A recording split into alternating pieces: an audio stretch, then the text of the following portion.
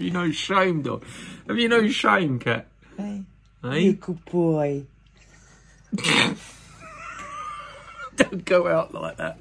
Don't go. Don't, dude. Don't go out like that because people, All the other cats will take the mick out of you, mate.